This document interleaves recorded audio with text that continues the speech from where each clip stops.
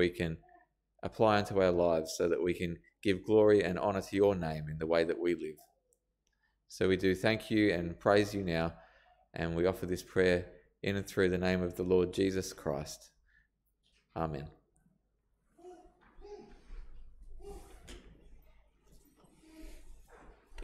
Okay, so just as an introduction to um, Cliff's talk tonight, he's asked that we read from the Gospel of Matthew, um, from Matthew chapter 6, reading from verse 19 to the end.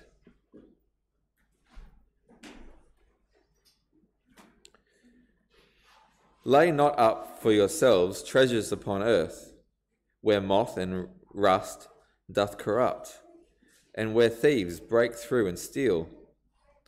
But lay up for yourselves treasures in heaven, where neither moth nor rust doth corrupt, and where thieves do not break through nor steal.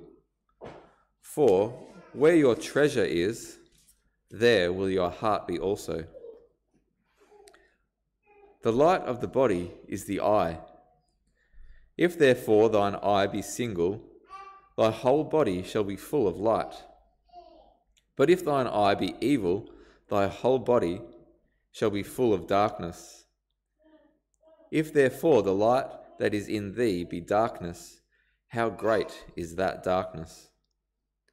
No man can serve two masters, for either he will hate the one and love the other, or else he will hold to the one and despise the other. Ye cannot serve God and mammon. Therefore I say unto you, take no thought for your life, what ye shall eat, or what ye shall drink, nor yet for your body, what you shall put on. Is not the life more than meat, and the body more than raiment? Behold the fowls of the air, for they sow not, neither do they reap, nor gather into barns, yet your heavenly Father feedeth them. Are ye not much better than they? Which of you, by taking thought, can add one cubit unto his stature? And why take ye thought for raiment? Consider the lilies of the field, how they grow. They toil not, neither do they spin.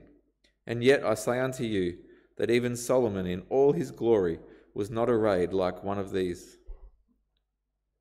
Wherefore, if God so clothed the grass of the field, which today is, and tomorrow is cast into the oven, Shall he not much more clothe you, O ye of little faith?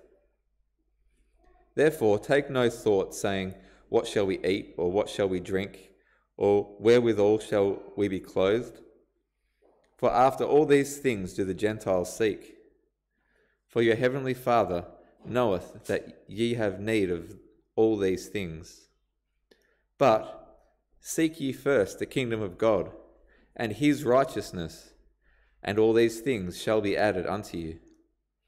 Take therefore no thought for the morrow, for the morrow shall take thought for the things of itself. Sufficient unto the day is the evil thereof. So, with that as an introduction, I'll call forward Cliff. Thank you.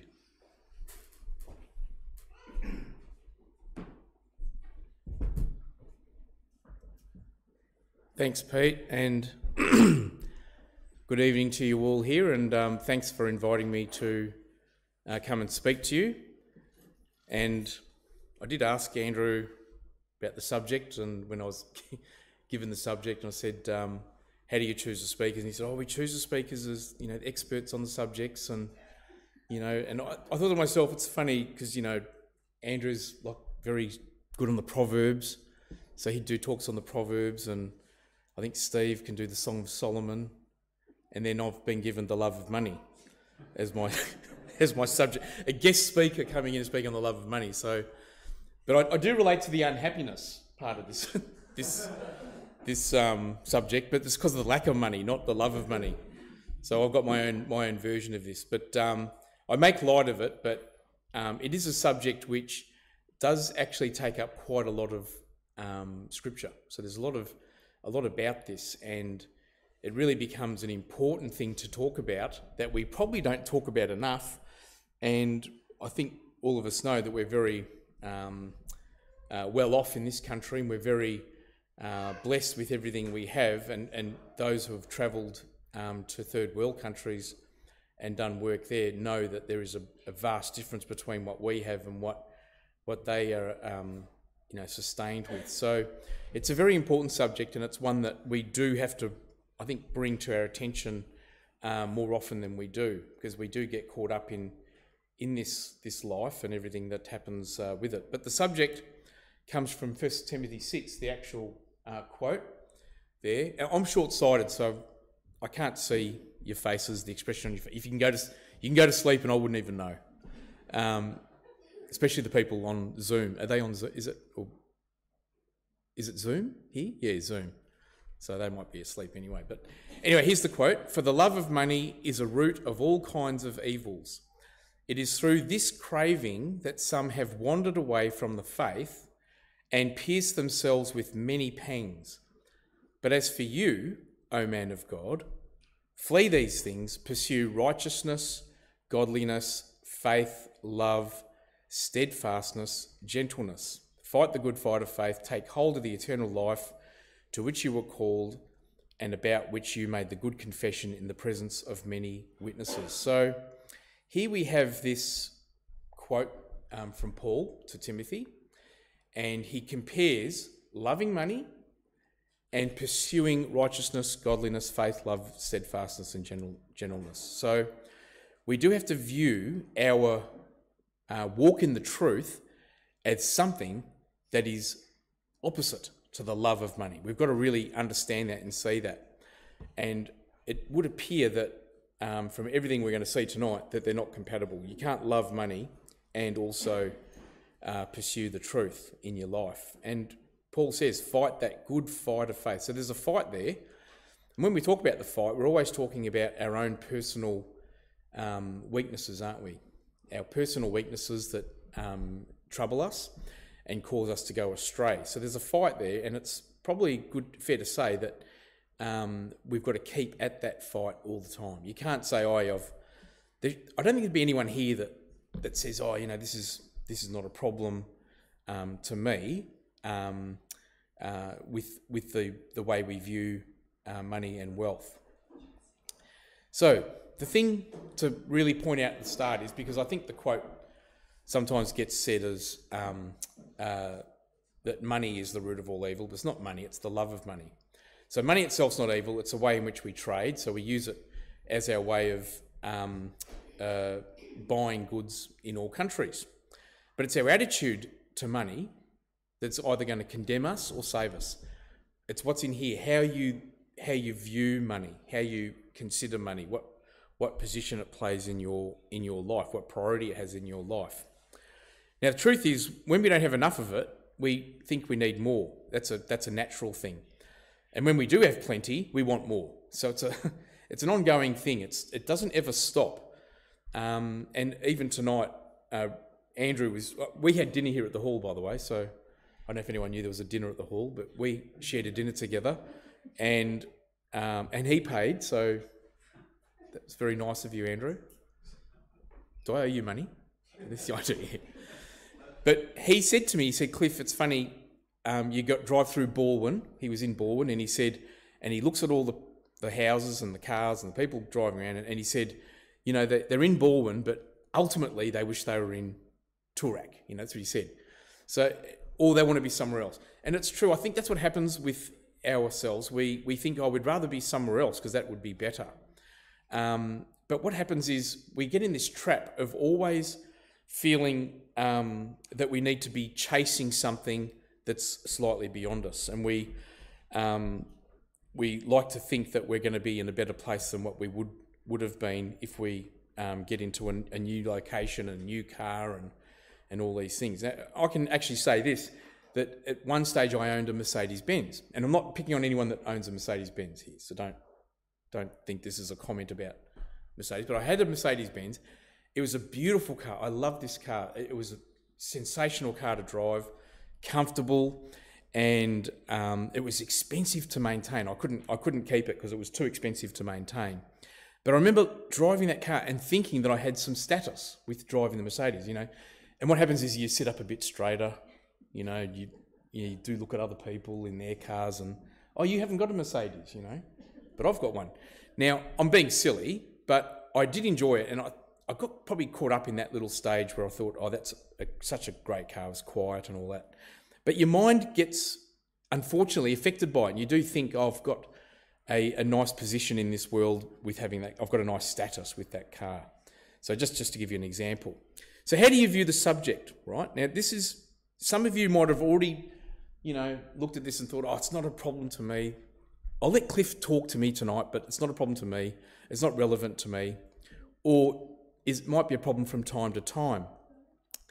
And do you believe the love of money is unique to the rich? I don't think so. I think it's all classes in society, in, in our society, would um, look at money as being um, a thing to have.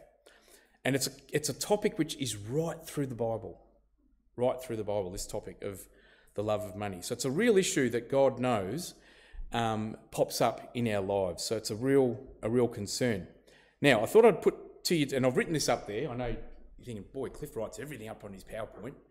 But I wanted to give you this thing tonight, this idea tonight. If you had a choice to be here and hear this talk from me, or tonight there was another talk where the presenter was going to give everyone in the audience $5,000 just because they were going to sit there through his talk, which one would you go to? So you've got me tonight, right? Up here and reciting some quotes from the Bible, or you get $5,000 for being a. Talk. We'll even call it down the road. So you're down the road in another hall, and there's going to be $5,000 giving to you just for turning up. Now put your hands up if you think you'd be at the other talk. I'd be there too. Now it's funny, isn't it? Well, I say that, and, and we all think, yeah, I'd go to a talk for five grand. I'm going to pick up five grand. So the answer is most likely the same for all of us. Now, I think some of you would say this talk's getting recorded anyway, so I'll hear it later. Yeah, that's the option. I'll hear his talk later. I get the five grand. Everyone's a winner. Everyone's a winner. We all come out happy. Maybe not me, not having an empty audience, but um, but that's the way. Now, if I said five hundred dollars, would you still be at the other talk? There's people going, yeah, too right. I would. I'm not going to go down because I think I'd get a little bit of self-esteem problem um, if I was to keep going down. So we'll leave the leave that money bit out of it. But that just gives you an idea of what we're like, isn't it? We are like that. If, the, if we know there's an opportunity to, um, to get money um, and it's free and it's easy, hey, we, would like to do it. So, what we want to now do is look at the examples in the Bible that are given to us about this problem. And I've got quite a number to go through, and um, that time's wrong, isn't it? So, got, and I can't see that clock, so it's a problem. All right, so the first one is the sin of Achan. So we go back right back into Scripture, right back into the early part of Scripture to see this problem. So it, and, and it goes right through Scripture. Now it's the story of the taking of Jericho, and we know the um, the story well about um, uh, what happened in Jericho. And God had said, "You can go into Jericho, but all the spoils that come out of Jericho have to come back." Uh, Joshua said, "They've got to come back to the treasury. They're all going to be used." Um, for, uh, for later on in the temple. So we need to collect all the spoils. They're all going to come in and they're all going to be given to the treasury of God. And this, this is what happened.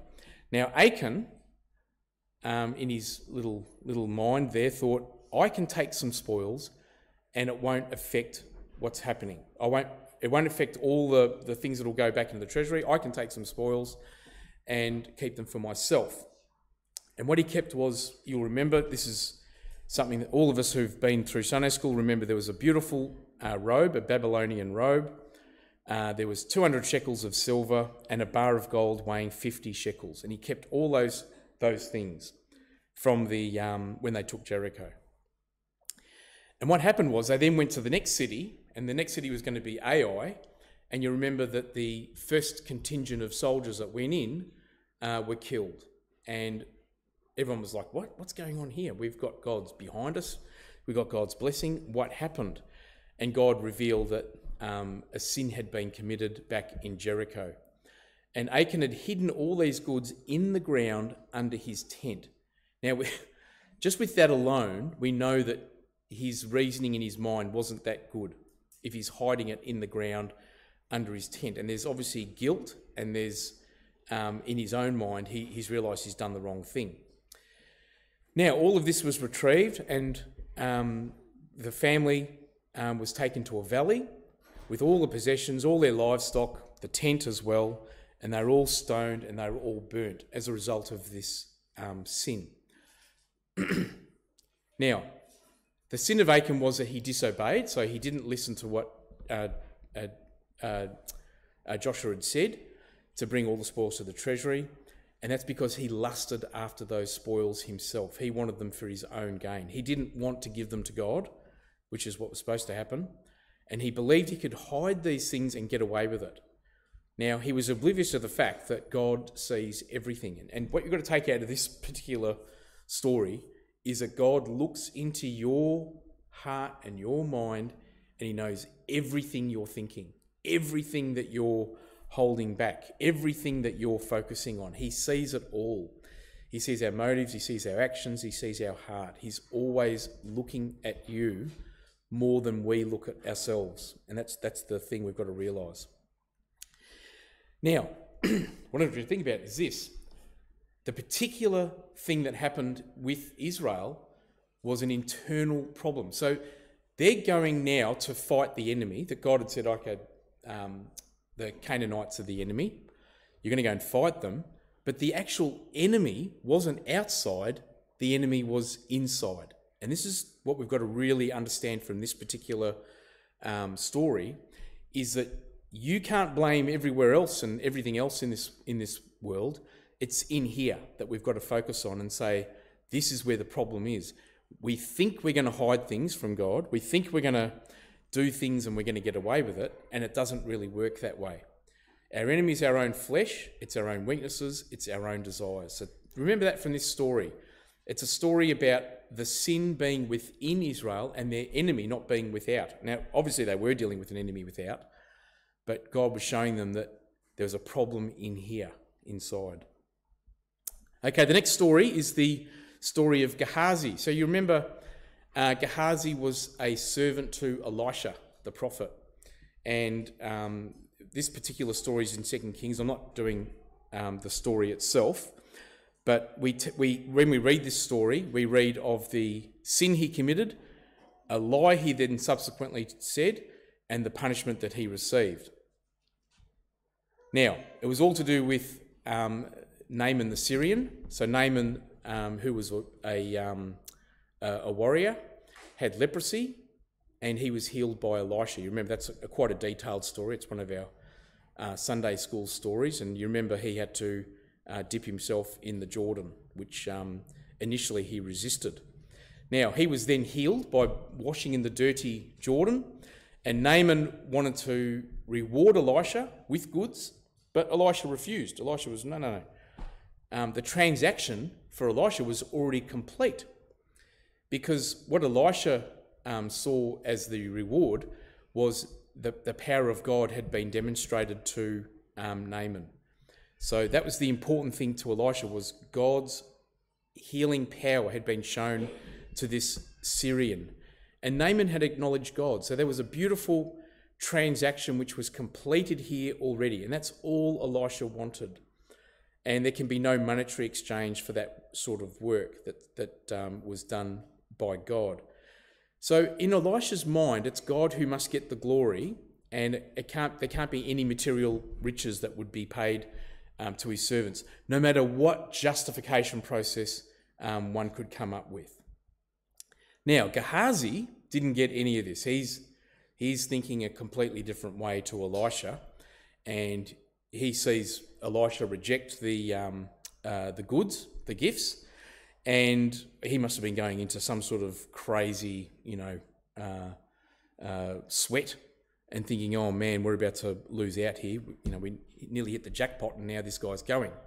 So he saw a lost chance at material gain, and what he did was, at the right time, he went after Naaman. So he chased down Naaman, and he then went to him. He lied to him, um, gave a story, and he took possession of the gifts. He then returned home and he hid the gifts in his home. So he, it's the same thing, isn't it? He goes and he, he thinks I can get away with this. I'll just put the gifts in my my own personal space, and no one will ever know about it. He then goes to Elisha, and you know Elisha said, you know, where have you been, Gehazi? And Elisha knew very well where he'd been, and then uh, Gehazi um, lied to him, and then he was punished with a disease, which was the leprosy. So the very disease that um, uh, that Naaman had had all of a sudden been transposed to Gehazi because of his greed. Now, Gehazi interpreted this whole thing as an opportunity to make money. He was wanting to make money and profit. He then brought deceit and disrepute into the equation as well because Elisha wanted God to get the glory and Gehazi was wanting to seek some of his own personal um, gain. Now, in Gehazi's mind, no harm was done. Gifts were available, they were going to be exchanged. Um, Elijah didn't want them, but he would appreciate them without any problem. So he must have had a justification process in his brain that said, you know, this is all right because they're here anyway, the gifts are here, and I can justify um, uh, keeping them based on what's happened and, and how Naaman's been um, restored to good health. But in Gehazi's mind, God's glory had zero significance. Zero significance. It was his own personal gain he was now focusing on. He's focusing on himself. So the story is telling us that the love of money is that something, it, it's something that eats away at our life and our mind and it corrupts our thoughts. Because he was punished with leprosy. So that was going to now eat away at his body. It's a disease which slowly um, takes away the, um, the extremes of the body at first and works its way up until eventually the person dies. It's, it was incurable. So, this punishment that he received was to remind him of what the love of money does. It eats away at someone's mind, it eats away at their thoughts, and it changes their, their very actions of what they do. So, that's a lesson to take from um, Gehazi. Now, Solomon also talks about um, the love of money. Now, Solomon, of course, we know was blessed with uh, riches from God because of the, um, the, the, wisdom that he um, had. And uh, he says in Proverbs 23 Do not overwork to be rich, because of your own understanding, cease. Will you set your eyes on that which is not? So he, he brings it to a visionary thing that um, wealth and riches are something that our eyes are actually wanting because we, we transfer all of that into goods. We transfer money in our mind, we translate it, I guess, into, into goods. So he says, Will you set your eye on that which is not? For riches certainly make themselves wings. They fly away like an eagle toward heaven. So he's saying that they flitter away. All these things flitter away, and we don't realize it. So Solomon tries to bring perspective to gaining wealth. Uh, work to provide, but don't try and accrue more and more. Everything you gain will flitter away in one way or another. It's not a permanent thing that we have for us forever. And he mentions our eyes because he wants us to know we love to see more and more in our possession. It's a it's a visual thing, and when we and I'll go back to the Mercedes. Um, uh, I'm not obsessed with Mercedes anymore, so that's a it's a historical bit of information. Um, I do think they're a, a nice car, but it's it's something that you could look at. So you wash the car and it gleams, and you and you stand back and you think, oh yeah, I've given that a good polish. That that car looks really good. So this is it's a visual thing. Does everyone appreciate what I'm saying? Yeah, I don't think, and, and it might be visual by looking at the bank account and going, oh, that's my balance. You know, that might be the visual thing. But whatever it is, it's it's something that can possess our minds and possess our attention. Ecclesiastes 5 He who loves money will not be satisfied with money. This is verse 10 to 12. Nor he who loves wealth with his income, this also is vanity. When goods increase, they increase who eat them. Isn't that funny? Getting fat. And what advantage has their owner but to see them with his eyes? Sweet is the sleep of a labourer, whether he eats little or much, but the full stomach of the rich will not let him sleep. So as he came from his mother's womb, so shall he go again, naked as he came, and shall take nothing for his toil that he may carry away in his hand. That's verse 15, which is a few verses after that. So Solomon highlights that wealth is an excess that can give one an excessive life. They have excesses in their life that they don't need. And he talks about it in the terms of food and having a full belly. Um, so you can uh, turn your wealth into something that gives you this great opportunity to eat more and, and, and have more and be able to do more. So, and he contrasts this with the labourer who sleeps easier without all these excesses of life. That guy's got less to worry about. So, he talks about wealth and riches being a visual thing, things that we can see, and it's those things that make the rich happy. And all their possessions make them feel like they've achieved something and they have some status. And I think we can all relate to this. Now, reality is from this, these quotes is that we came in the world with nothing and we leave with nothing. We've got to realise that. We don't take all these things. You know, they don't have a coffin that's built the size of our house. You know, and the house goes in there, and the car, and you know, our bank account, and all this sort of thing. That doesn't go in there. It's only our body that goes uh, in the coffin when we go. So um, all those possessions should mean very little to us. Now, the parable of the sower.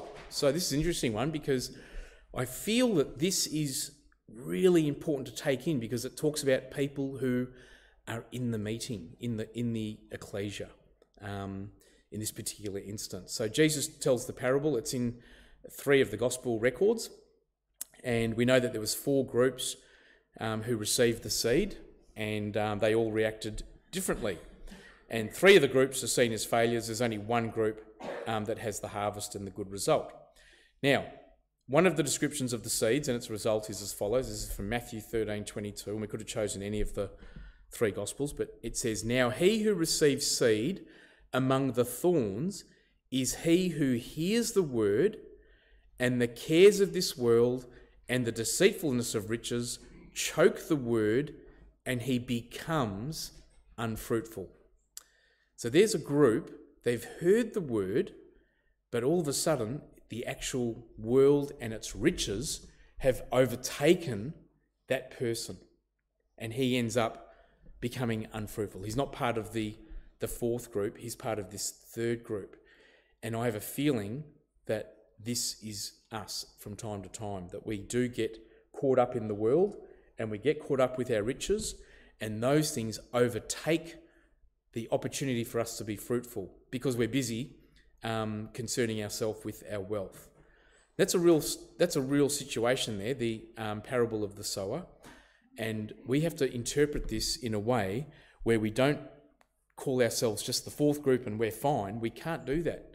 We have to see that there's a real threat to us being in the kingdom if we are uh, putting ourselves into the world and what it's pursuing. We have to be very careful. And I think that lesson has to really come home to us. We can't just ignore this. And we need to see that it's a danger. It is an actual, the world is a danger, what it presents to us. You know, we all talk about social media and um, how clever it is, and it is very clever. Social media is, right now, is the most clever thing that's going on in the world as far as marketing is concerned and getting people's attention and getting people's dollar. And I think, you know, all of us here, um, so does anyone here use Facebook? And there's ads on Facebook, and um, so you're reading one thing, and then you got this ad about something, and you go, "How does this ad popping up on my Facebook?" And that ad's because you did a search on something a while ago, and it's trying to tell you if you don't have these, you know, Nikes, then you're not a person. You know, you're not, you're no good if you don't have this. Um, now I got sucked in. I'm going to be honest. There were RM Williams, really cheap. and one night I was in bed and I was doing I was doing the Facebook before I was going to sleep, and the RM Williams came up and it said forty dollars for RM Williams. And does everyone know RM Williams are like in the hundreds of dollars? I got taken for, and it, it, there's a time limit there of when you could get these. And I thought, oh man, I'm about to go to bed. I'm about to go to sleep. I need to do this now. So I'm getting the, I go out and get the wallet and I get my card and I'm punching everything in there and choosing the colour of the shoes. I'm so excited. Chose the colour, chose the size, and, and I couldn't even tell anyone because it was late at night thinking, oh, I'm getting RM Williams for 40 bucks. I can't believe this. This is so good. Anyway, you know the story. Nothing came in the mail. and what came in the mail was this little piece of plastic jewellery. It was a bit of rubbish. And it had my name and I opened it up and there's a little plastic key ring thing or some rubbish. It was like worth 10 cents, you know. And I said to everyone, I said, I don't know what this is. Someone sent me this from China. And I realised that it was the R.M. Williams. It was. I got this piece of rubbish. So my $40 was gone. Oh, another funny story. The bank contacted me and they said, We think you've been scammed. I said, No, no, I haven't been scammed. I've got the deal of the century. So I'm arguing with the bank, telling them how lucky I was. Oh, they must have thought, oh, another fool. We're not going to bother with him. 40, 40 bucks, let him, let him lose it. So that's the story of the fool. A fool and his money are easily parted. Is that right? Is that the quote, Andrew? A fool and his money are easily parted. Is that? Hmm? Yeah, soon parted. Yeah. So that's that's the fool there. Late at night, doesn't know what he's doing. Anyway, I don't know why I told that story. That's not not complimentary to me, is it? Yeah. So there's going to be people in who hear the word. This is the point. They respond to it, but they get caught up in this life and everything that um, this life is promoting at us. You know, and and we think these things are important because everyone else wants them, and we want them too, and we want to be like everyone else. So we end up being fruitless, and that's the sad part um, to God. God wants us to bear fruit, not not be working at um, developing our own um, fruits for this earth. You know, He wants uh, real fruit, the spiritual fruit. So they're the last group mentioned before the group that is part of the big harvest, those that are fruitful. So we need to understand that we could be a believer, but be in a group where we're actually getting um, caught up in material possessions. We have to understand that. And, and I'm not telling, I'm not saying we are there, but I think we do, we are there from time to time in that, that uh, space. Okay, divide my inheritance. So you remember, uh, now we're going to the New Testament. You remember that the uh, fellow came to Jesus and he said, Look, um, can you please um, help me with my brother? There was a legal matter that was being um, uh, argued and can you help me with my brother? So the this man was in dispute with his brother over his inheritance. You probably can't read that, can you? You can? But the people down the back struggle. Yeah, it's Luke 12 anyway. But I can't make it any bigger, I'm sorry. Um, but you know the story. So he comes up and he's asking about his inheritance with Jesus. Now, under the law, um, does everyone know what the law said with the firstborn? What the firstborn gets? Run double, yeah. So he's got a double share. So firstborn gets double share, and then the rest of the siblings get um, the, the, the, equal division of the rest. Now he's he's come up. Now he's possibly challenging this law. He's possibly challenging Deuteronomy 21 verse 17. We can only surmise that's what he's challenging, and he wants a better resolution than the you know him getting two thirds and he's getting a third, which we'll assume that's the situation. So he takes the matter to Jesus, and perhaps thinking that um, Jesus might say, Look, to be fair, you should get half each. Now, unfortunately for him, our Lord's interest in monetary matters and legal challenges was zero. Zero interest. I have not one ounce of interest or concern with you and money and your brother. Not at all. And he says to the man, Man, who appointed me a judge or an arbiter between you? And then he said to the people around, Watch out, be on your guard against all kinds of greed. Life does not consist in an abundance of possessions.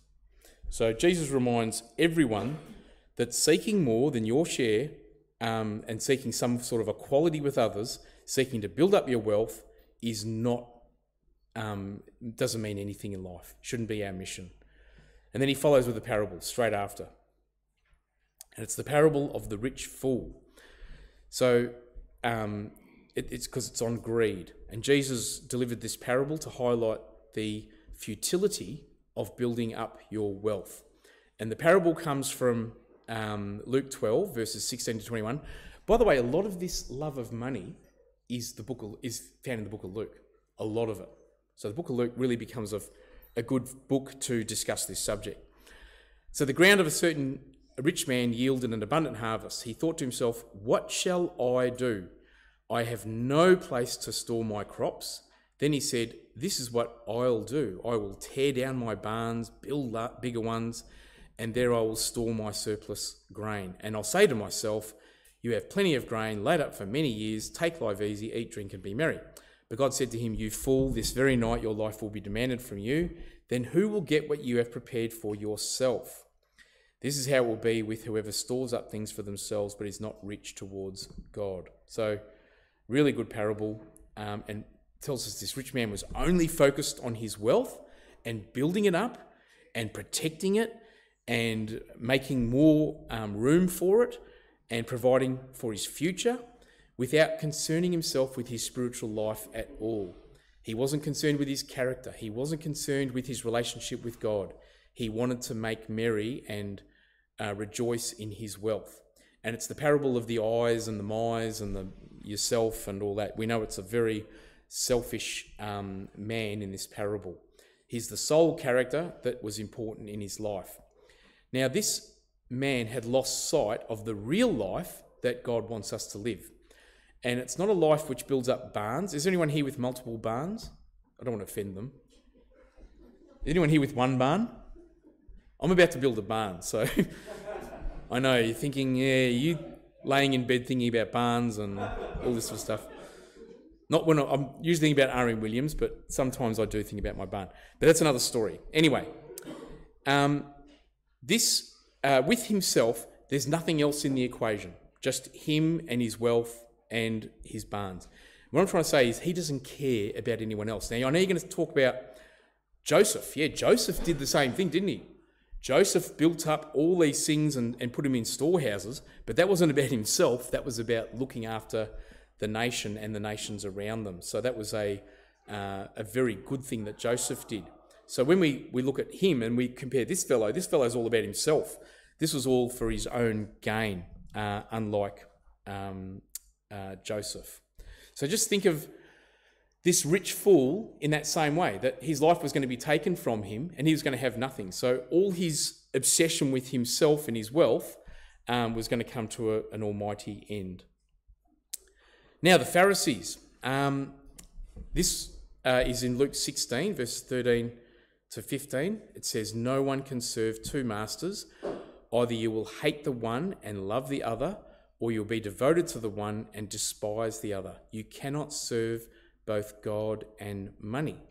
Now, the Pharisees who loved money heard all this and were sneering at Jesus. They were sneering. They didn't like this. Hey, what are you talking about? Um, you know, money's one of our favourite things. And he says to them, You are the ones who justify yourselves in the eyes of others, but God knows your hearts.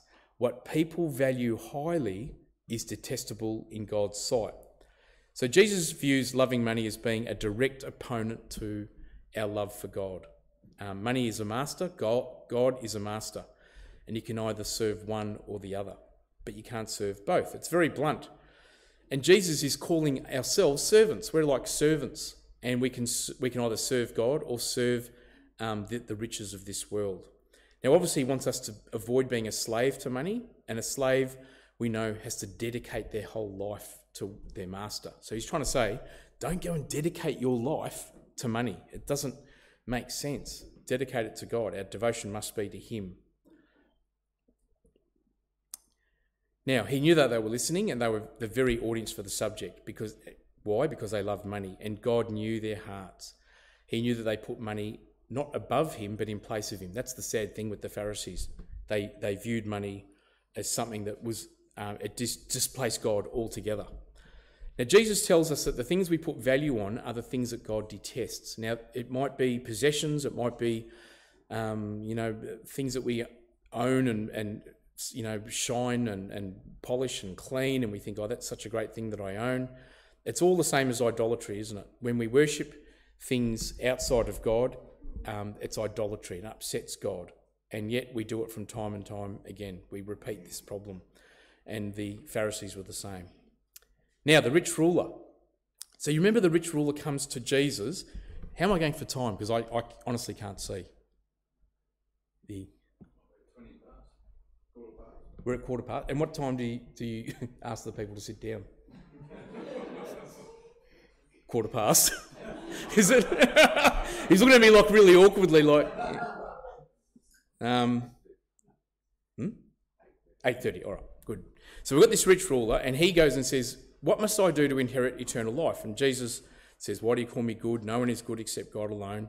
You know the commandments. And he, he then reels off these commandments don't commit adultery, murder, etc., etc. All these have I kept from my um, since I was a boy, he said. Now, when Jesus heard this, he says to him, You still lack one thing. Now, Jesus knew this all along.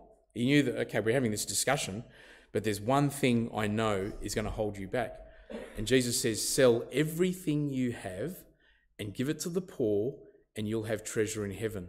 Then come, follow me. Now, when he heard this, he became very sad because he was very wealthy.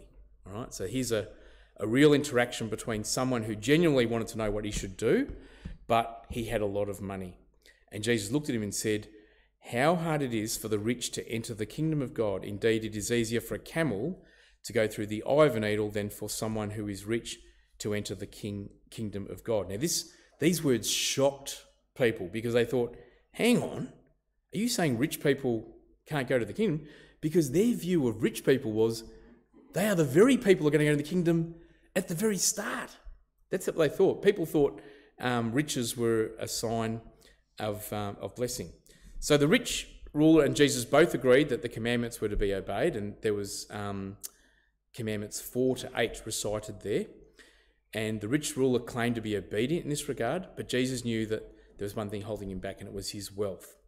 And he told him, so Jesus said, when you sell everything, give to the poor, um, you'll be given another treasure, that's eternal life, and follow Jesus. Follow, follow me. That's what he was told.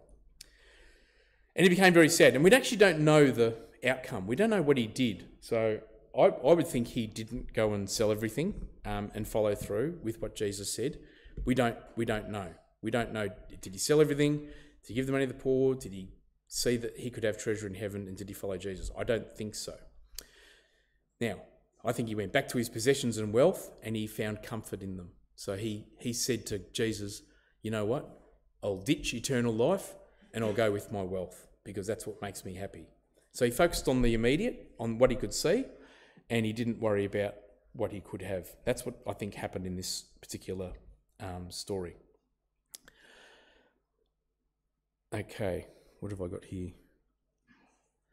Now, the parable that followed. So, this is a very interesting parable, isn't it? The camel going through um, the eye of the needle. So, as I said, people thought rich people are blessed by God, so therefore they're, they're going to be in the kingdom. But um, that's not the case. Jesus was setting the record straight now, and he says it's almost impossible for rich people to get into God's kingdom because they can't see past their riches. Their riches become their very reason for living, their riches are their whole focus. It's the be all and end all of their whole life. Nothing else matters. So when we talk about the camel and the needle, I know it's one of these things that gets debated and spoken about. The Aramaic word for uh, rope is camelon, and it's almost identical to the Greek word for camel, um, which is camelon, which is how it's been translated. So perhaps Jesus was saying it's um, uh, easier for a rope to go through the eye of a needle than it is for the rich to get into the kingdom of God. That's a possibility. Another possibility is, and I think you've heard this before, in Jerusalem there was a small gate and they called that the needle. And uh, it was as though, as though, the camel had to go through this gate. That was a, a difficult um, a gate to go through. So was he referring to that as well? Despite what we can put up here and talk about um, with the, the words themselves, the point is still the same, and that is that it's, in, it's virtually impossible for someone who's focused on their riches to enter into the kingdom because they, they unfortunately, they're blindsided by them. They don't see the bigger picture. And that's the point Jesus was making. Now, Zacchaeus, here's another good story in Luke 19. He was the chief tax collector and he was a short fellow. So we were told, it's one of the stories in the Bible where we're told the size of the person, his occupation, and what he did to impress Jesus. And what he did was he climbed a tree. So um, he climbed a tree because he wanted to see Jesus and there was a real um, uh, pertinence about that. There was a real desperation um, that he had to see Jesus in the crowd. Now, what happened was he wanted to see Jesus, and Jesus saw him, and they connected. And he said, "Come down. Um, I want to go to your house. I'm going to stay at your house." So there was a connection between um, Jesus and Zacchaeus based on what he did, and I think you'll understand that to climb a tree um, as a Middle Eastern um, uh, tax collector would have been a, a, big, humiliating thing to do. So Jesus acknowledged that, said, I'm going to come to your house. And then what happened was Zacchaeus then confessed about what he'd been doing. And he says he's going to uh, give half of his wealth to the poor and repay any unfair tax amounts uh, by four, fourfold. So there was a confession of sin, and he showed his desire to make things um, right. As an example, I think, of one's love of money being reversed by Jesus. I like this particular story. Then there's the poor woman with the two mites. Um, we know that story where the rich go and put their gifts into the temple, and the woman comes and puts her last two coins in there. Jesus says, just at the bottom half of that quote there, this poor widow has put in more than all of the others. All these people gave their gifts out of their wealth, but she of her poverty put in all she had to live on. So he compares the, the two groups the rich coming and putting in their tithing, you know, which was a tenth of their wealth. She puts in 100% of what she had. There's a comparison um, between uh, the normal people and, and herself. And that was a beautiful thing because she was putting her trust in God. She knew that God would look after her, that God would um, help her to survive. And her actions showed a total reliance on God for all things. All right. Ananias and Sapphira, another, and we've got, got two more stories, and then I'll go to the some other quotes. But Ananias, he's looking at me like, "Come on, you're not going to get invited here again." Um, Ananias and Sapphira. So this is at the time when the ecclesia decided we're going to look after the poor, and what we're going to do is we're going to pull in all of our um, excesses and our properties and money that we have from those properties, and we're going to redistribute the money in the ecclesia. So this was in Jerusalem, and um, the wealth was going to go back to being an evenly distributed thing amongst the uh, people in the ecclesia. So, and it goes through the stories of, of people coming and, and giving of their um, of their property. But Ananias and Sapphira, they come and they lay down their um, money as well, but they held something back. So they, they gave the appearance of putting the property um, money there, but they held some back. They, they held some back for themselves. This was called out by Peter, and it showed how our love of money can be our ultimate demise. So um, uh, Ananias was was killed on the spot, and so was his wife, who came and backed up um, the same um, deceitful um, explanation about about what had happened. So it was only a voluntary donation they were making, a partial one they were making, and they could have said, "Look, we've kept some of the money, but um, here's the rest of it. Um, we want to give this to the um, the poor." but they intimated that it was everything. That was the sad thing. Now, I, I, do have to cover this particular one, and I think you've all been wondering when are we going to talk about Judas, because Judas was the treasurer amongst the disciples. He held the bag. And we know that when um, they went to Mary and Martha's house, that Mary used that expensive perfume and cleaned Jesus's feet. And Judas said, Hang on a sec, hey, hey, hey, hey, hey. We, we shouldn't be doing this. We should be um, selling that perfume, uh, keeping the money, and um, using it for um, redistribution for the poor. But his objection was based on the fact that he was pilfering from the bag, and that's um, said in that particular um, uh, section uh, in John 12. So he was pulling money out of the bag already. So this is Judas. So we know his nature before um, the betrayal of Jesus. So he um, being he was with Jesus. So I know it's a funny story. You know, you think if you're with Jesus, are you really going to be this bad? You know, and this is the whole thing. You know, we come Sunday morning and we're, we're celebrating the death of Jesus and his sacrifice and his resurrection, and we're doing that with the emblems. But sometimes we're here and we're betraying Jesus with what we've got going in our mind. And we have to realize that this story is not to make us think, oh, what a bad disciple, but the danger that we can have in our own life of betraying um, Jesus. Now, what he did was he traded Jesus for 30 pieces of silver. So he, he put a, a value on um, getting you know Jesus taken away, and that value was 30 pieces, which is the same price as a slave. And um, uh, Jesus, of course, was doing what he was doing in his life to save us, and Judas was pursuing his own uh, monetary um, gain. So Jesus was betrayed with a kiss, as we know um, by one of his disciples, and he called it at the Last Supper. He knew this was going to happen. And uh, Judas unfortunately placed money above Jesus because um, he wanted to build up his own um, financial growth instead of his spiritual growth. And later we know he regretted it, he repented, and he committed suicide. So there's a sad end there. So this probably is out of all the examples we would give, this would be the most highest profile um, bad uh, transaction in the Bible, a bad example of the love of money. This is the highest profile one you'll see, and that is the betrayal of Jesus. Now, of course, we uh, what I'm going to do is because of time, I'm going to just finish with uh, Matthew six, which is um, what we read tonight. But there are plenty more um, uh, slides which talk about um, what we should do and how we should um, refocus on God and not focus on money. But the quote um, that I want to put up there first is Do not lay up for yourselves treasures on earth where moth and rust destroy and where thieves break in and steal. But lay up for yourselves treasures in heaven where neither moth nor rust destroys, where thieves do not break in and steal. For your treasure is there, your heart will be also. So, this is a real comment about um, your heart, where your heart is, and the laying up. Now, this laying up thing, I think this is the trap we get into. We're laying up, and um, we've, we've got things that we collect, and we got. I, I collect more than most people. I'm a bit of a hoarder, so I've got things on the back deck that shouldn't be there. Um, and the deck is supposed to be for going out and enjoying a barbecue and having people around. We can't have people around because I've got possessions there. So I've got me and my possessions and my barbecue. So I can have a sausage and look at all my possessions. But the back deck is full of stuff, and I think it's driving everyone mad. And don't worry, these things will find a place in the barn when the barn is built. but yeah, I'm not making a joke. I'm just letting you know that will be relo- relocated. Um, okay, but the rest of Matthew 6 is beautiful because it talks about all these things um, in life that we observe, you know, like the, the birds.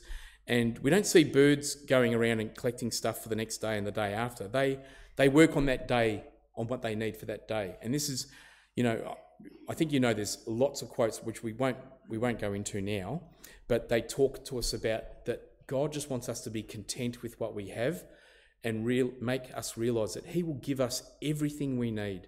He will look after us. He doesn't he loves us and he wants us to be in his kingdom and he will give us all the things we need. We don't need to go and seek those things um, ourselves as though it's all our job to do that. Um, Ephesians 1 is another great one. Verses uh, 13 and 19 goes through um, the things that we um, get from God. Uh, Luke 6, verse 38 give and it will be given to you. So the idea of sharing um, what we have is what God wants us to do rather than accumulate and build up our own wealth. Matthew 7, verse 9 to 11, asking for bread um, of your uh, father.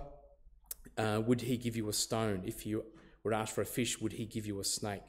So God knows how to give us things that we need in life. And notice it's fish and bread, so it's to do with what we need, not things that we want. Uh, 2 Corinthians 9 is, is beautiful as well. It, it goes um, through talking about um, uh, being a cheerful giver. So being someone that can give to others cheerfully and not, not with regret. Philippians 4, um, I'll skip over that. And then 1 Timothy 6, verse 6 to 9. Godliness with contentment is great gain, for we brought nothing in the world, we can take nothing out of the world. If we have food and clothing, these with these will be content.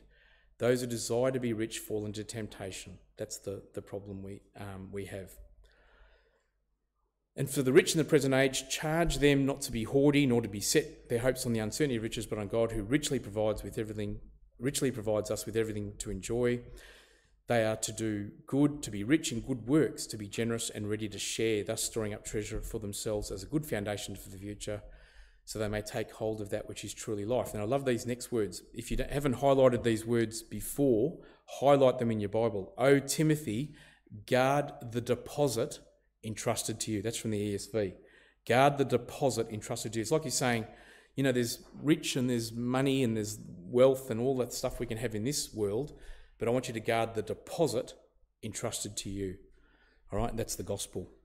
That's what you need to work with, um, and that will get you where you want to be. And the last quote: "What I, what no eye has seen, nor ear heard, nor the heart of man imagined, what God has prepared for those who love Him." So all the things we think are glorious in this world, they are nothing, absolutely nothing compared to what God's got in store for us. That's it. Thank you.